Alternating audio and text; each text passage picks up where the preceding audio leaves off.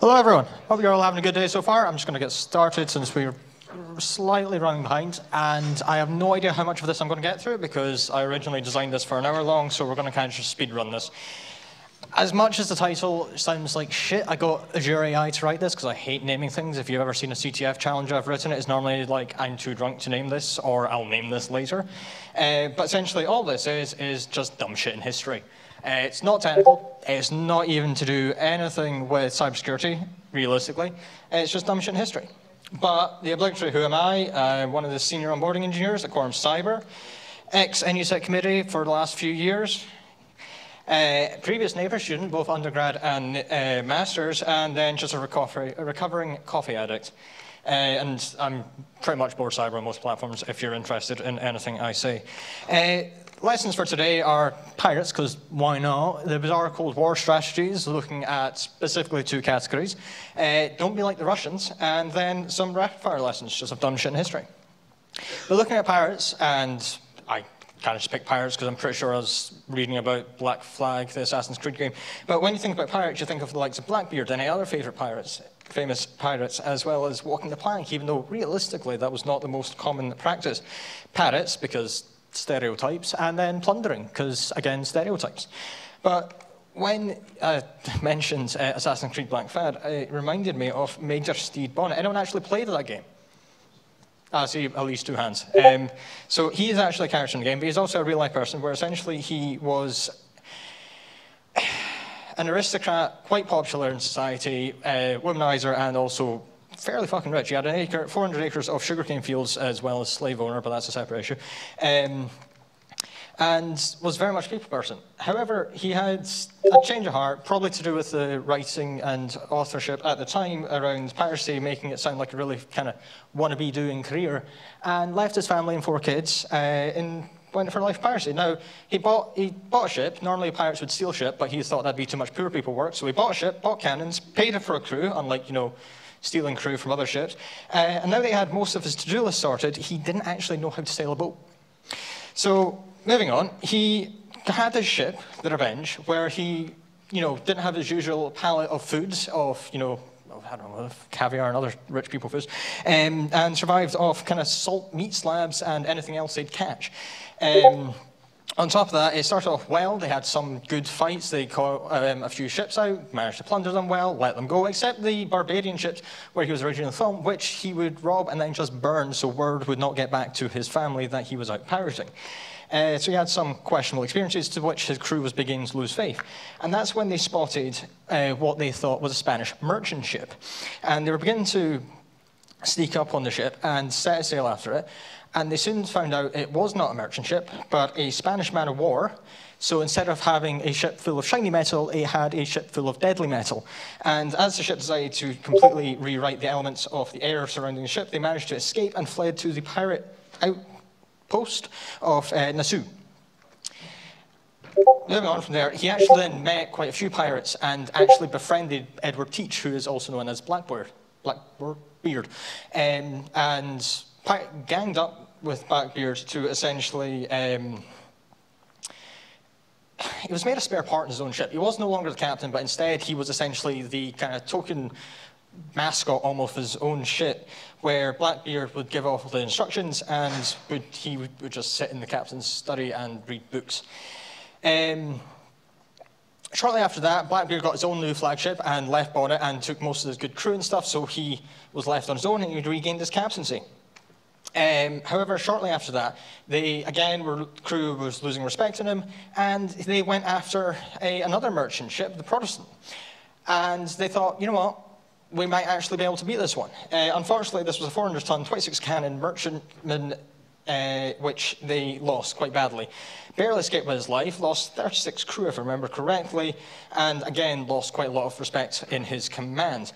Um, and as I said, they bumped back into Blackbeard at another outpost, and they then teamed up, and then Blackbeard stole the ship and everything. So Bonnet then bought a new ship, went after Blackbeard, but never actually saw him again. He had a vendetta against him.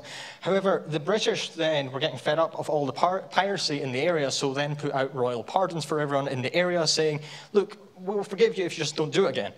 Uh, however, they went, got their pardons and he immediately went back to piracy after Blackbeard betrayed him. So shortly after that, um, I'll jump back just now. Shortly after that, again, jumping ahead quite a bit, never bumped into Blackbeard again. However, he became a lot more violent, a lot more kind of aggressive towards everything with the vengeance for Blackbeard.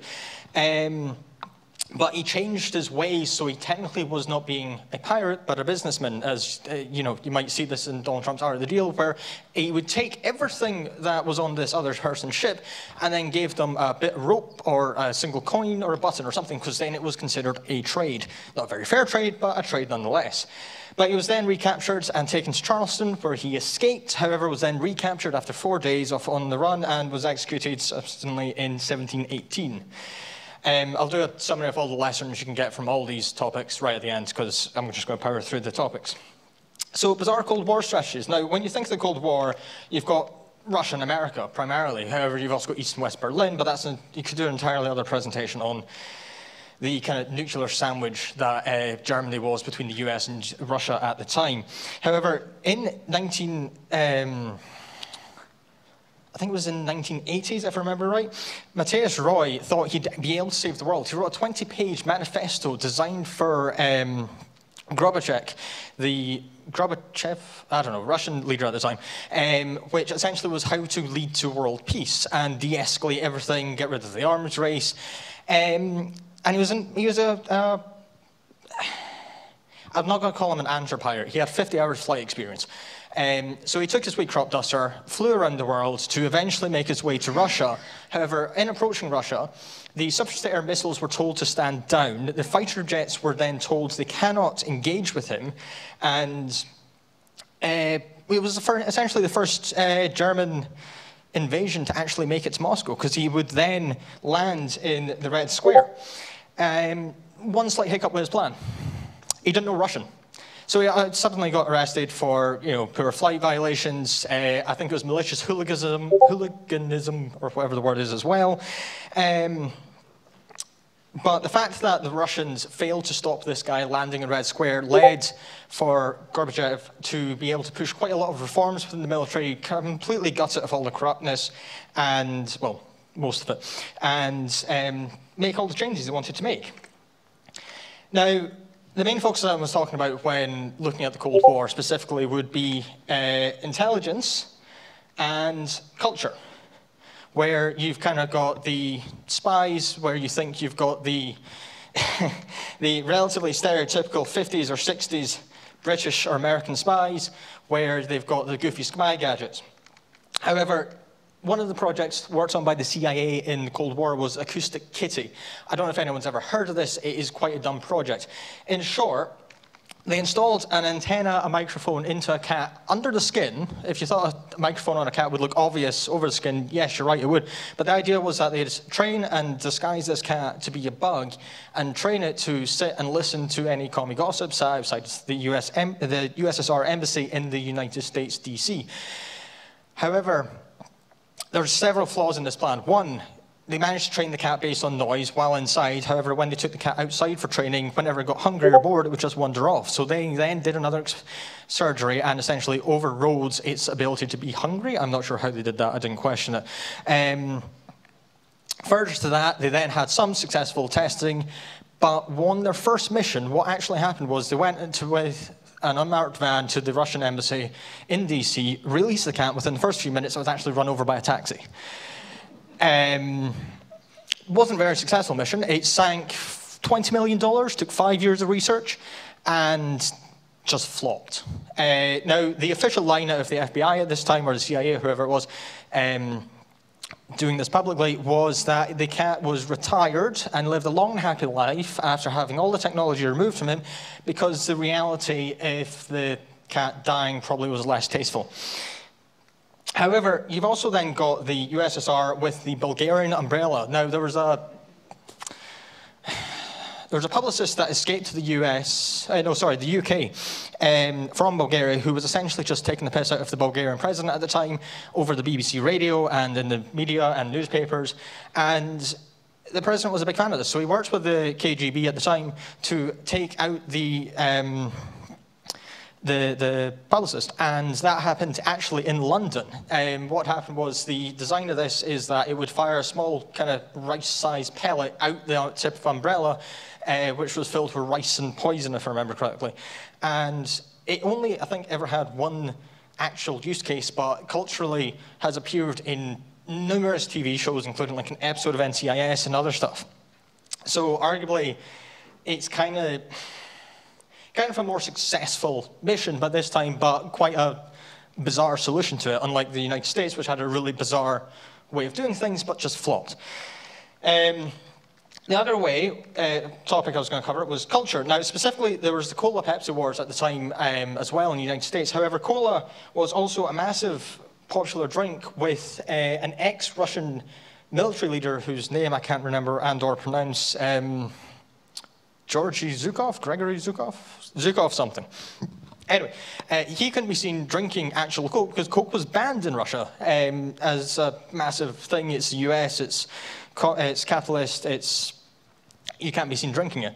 So he was actually introduced to it by Truman early, in earlier years. So he got back in touch with President Truman at the time and said, hey, look, I, I want Coke. Um, and uh, there's a joke I want to make that is absolutely tasteless, so I'm not going to say that. But anyway, um, he, he then had Truman approach Coca-Cola and essentially create white Coke or clear Coke, which was essentially a way that Zhukov could drink Coke in Russia while uh, it was appearing that he was just an ex-military hero who defeated the Nazis and was now a raging alcoholic drinking pure vodka. Um, it works. It's, it, it, it's about who you know, ultimately. But then on the other hand of the Pepsi-Cola wars, you have Pepsi. Now, Pepsi um, was dealing quite a lot in the USSR. They were allowed to trade in the USSR. However, the value of Pepsi very quickly outweighed the value of vodka because the way that their trades worked was Pepsi would give Pepsi, Pe uh, Russia Pepsi, and Russia would give Pepsi vodka. But that trade soon became unmanageable because of the value of vodka plummeting. So what they did was uh, they gave them they gave them military ships. Specifically, 17 submarines, one cruiser, one frigate, and one destroyer. There are theories that it was the sixth largest uh, naval fleet in the world for some point, but that is, as I said, theories. There's disputes online about that. But specifically under the guise of it, it had a fleet. Um, It then got to the point where essentially the Soviets could no longer give them military ships and essentially started building oil tankers for Pepsi. Um, and I think, I, I, don't know if that ever stopped. Um, but that's, that's kind of dumb shit that occurred in the Cold War. I could do another whole talk on the Cold War, uh, but that is a different day. Now, don't be like the Russians. This was a talk that I originally gave as an excerpt of this one that I've fleshed out now at Hack Thursday a couple of months ago. I don't know if anyone's there to see it, but it, people thought it was funny. But when you think of Russians, you think of, well, vodka, Putin, fair elections, their naval abilities, as very recently disclaimed in, uh, in Ukraine, and Sputnik, for Donan, who's not here today because he's in B-Sides Dublin, and blatantly just communism. But looking at a timeline of all this, you've got Putin becoming president back in 99, the Chernobyl disaster in 86, Sputnik in 57, the forming of the Soviet Union in 22. But the period I'm wanting to talk about today is specifically between 1904 and 1905, which, for anyone that knows a little bit of history, was the Russo-Japanese War. Now, this was, um, this was kind of the time for expansion. Russia was looking for a warm water area to have their fleet for not only military purposes, but maritime commerce. Um, so they, quote unquote, leased a port from China, which, um, which, which didn't go down too well with the Japanese. And they attacked Port Arthur, essentially. And um, Fast forward a few battles, the Russians are losing really badly, so the Tsar authorizes the Baltic Fleet to reinforce the fleet in the east. Now, for anyone that doesn't know geography too well, um, the Baltic Sea's there, up by, you know, Finland. Um, boats don't like ice as well, so you couldn't really go this way round the world um, because of the Arctic. And you've got, what, that long a journey to go instead. Um, now, annoyingly, I don't have a clicker to point at shit, so I'm just going to point at the screen. You can act like I'm pointing at something. Um, but going this way around the world, it was really annoying for the Russians because they didn't have any military bases and or ports in the kind of North Africa or the southern side of Europe or the Middle East. So it would have been an equal, uh, ecological nightmare to organize as well as just logistical nightmare. Um, but it gets better because the crew sitting in a frozen port all the time would not be going out on the water too often, so they were completely untrained. They were literally peasants just living in poor Russia at the time. And the journey started off quite well as you'd expect, with in the first two minutes of leaving the port, one ship dropped their anchor into the ocean and had to re-get it, and then the other one crashed into the uh, flagship and had to be taken back to port for repairs. And then getting better, they got round to Finland um, and Denmark, and they were slowly, slowly going well, except um, two boats approached the fleet, and there might have been some fear and paranoia in the crew, and what they did was they started opening fire, thinking they were Japanese torpedo boats. By Denmark. I'm not going to let anyone else figure out, you know, the mistake in that. But essentially, what it was was after about seven minutes of firing, realizing their mistake, it was a message for the admiral who'd been promoted uh, in charge of the fleet. And yeah, nerves were high, paranoia was high. What could go wrong? Um, you've then got the fact that You've then got the fact that they've then made it past the Baltic uh, Ocean, Baltic Sea, and made it to Dogger Bank. I don't know if anyone's ever heard of the Dogger Bank incident. However, that is just as successful as you'd expect it to be, where after 20 minutes um, of sailing and noticed some fishing boats, um, they again thought it was Japanese torpedo boats thinking you, you might have learned a lesson for the first time? No. Um, it, it, was about six British trawlers that they started opening fire on. Now, they lost two crew in a boat. However, the Russians also managed to kill one of their own sailors and an Orthodox priest, so they tied with the Russian fleet, technically. Um, and yeah, after all this, they had an international incident of sorts. could, Britain could have started a war with Russia over this, but they didn't. Instead, they just denied them access to the Suez Canal, which meant that they couldn't go around the relatively longer way they were already planning, but instead had to go all the way around Africa to make it to the, um, the fleet they needed to reinforce. Um, now, Africa's pretty big, and they were a slow-moving coal-powered fleet, which essentially kind of coasted down the um, coasted down the side of Africa very slowly, um, cutting telegraph cables and firing at more civilian ships along the way, mistaking them for more um, torpedo boats. I forgot the word there. Um, and essentially, they kind of also. Re supplied themselves and reinforced themselves at one of the final ports in Europe, which was owned by Germany at the time. Lovely people, couldn't go wrong there at this time in year. But essentially, because they had such a long journey ahead of them now, they took double loads of everything on, including double loads of coal, and they kept that openly on the deck, which again resulted in several sailors just dying of black lung. Uh, with morale being so low, they stopped by Madagascar to then essentially let the sailors get pets, including uh, an alligator, several chameleons that they would consistently lose around the ship, and a snake that then developed a fondness for vodka. Um, it also then bit several crewmen and was venomous, and they also died. Um, but yeah, so at one point the sailors were holding a funeral for one of the male sailors who had died along this journey, and during the ceremony they were doing the gun salute off the, off the coast, and they didn't realize friendly fire was on and hit one of their own ships in the process. And it, just kept getting better from there. Um, and as they realized they were approaching Japan, the admiral kind of very quickly realized, ah shit, I should train them.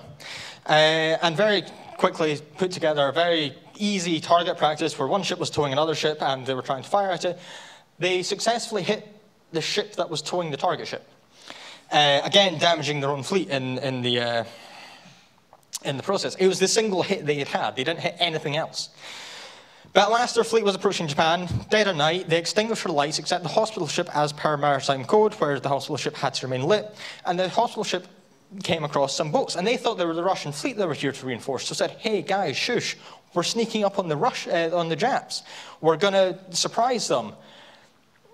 Yeah, no, it was a Japanese boat that they'd actually um, just uh, just alarmed on, and essentially told them that they were there. And then the Battle of Tsushima uh, ensues, and the Russian fleet was decimated. This did essentially end the war, in fairness, but uh, as you can imagine, the Russians just very, oh, I've got more pictures. The Russians very just blatantly lost. It was an absolute massacre after so many of them died at their own hand, essentially, on the journey.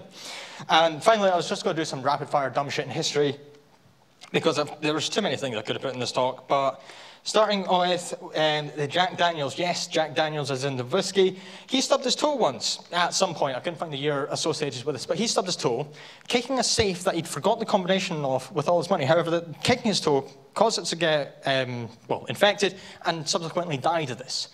Um, moving on, you've then got the Soviet anti-tank dogs back in World War II, which essentially were trained to run under, or they're to run under tanks. The idea of them running under alley tanks and blowing themselves up to then destroy the tanks. However, because they were trained based on Russian tanks, they kept running under the Russian tanks during the war and blowing up their own tanks.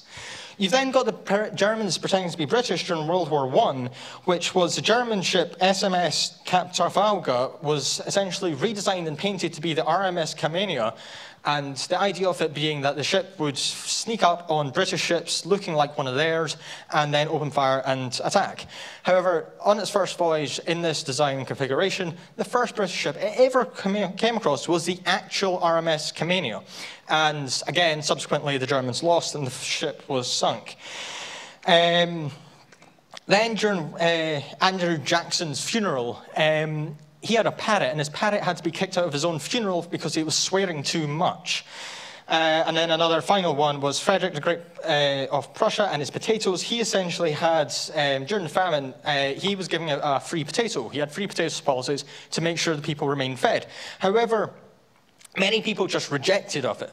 So to make potatoes seem more appealing, uh, around the potato fields he posted guards so that they would look more, you know, appealing, make them look like they're valuable in some sense, and it worked. Um, but again, running through because I've only got a couple of minutes left, basic lessons learned out of this, out of all three genuinely major topics I've talked about, and then the rapid ones, is train your staff. Train them to actually identify threats. Make sure they know what malicious looks like and what you know normal activity looks like. Make sure they can identify the different types of threats as well, so they don't mistake it for one thing and give the wrong remediation.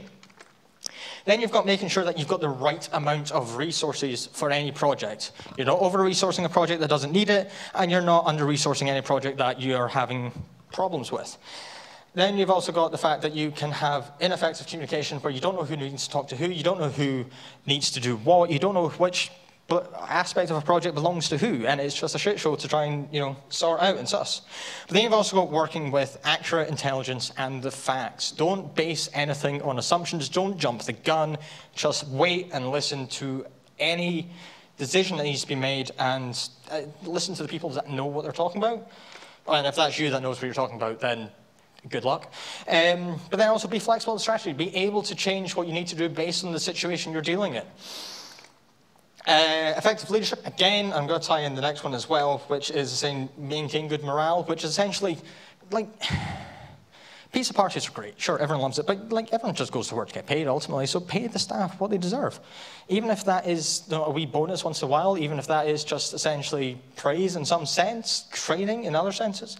But yeah, good morale, effective leadership, knowing what you're doing yourself, essentially. Make sure you know what you're doing. If you have gotten a job and you're essentially lied on your CV or bullshitted your way into a job, you're going to essentially find yourself absolutely lost, dumbfounded about anything, and you will eventually get caught out, no doubt. But at the same time, it's just, it's kind of common sense.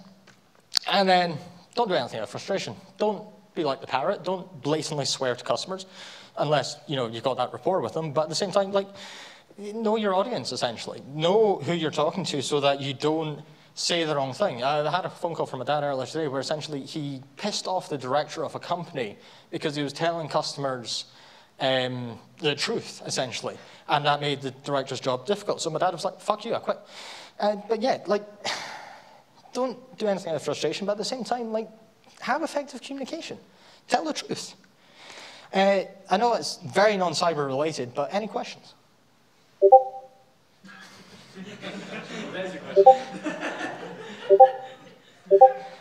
Swear fuck Scott if that's you. but if that's no questions, then fantastic. I hope you just. Oh, hello. Yeah. It also would wrap itself around the artillery guns, which would cause people to panic. Anything else? It's not you this time? Okay, I believe it. It'll be Sam, I bet. anyway, uh, I'm glad you all came. Hope you enjoyed, and hope you enjoy the rest of the day.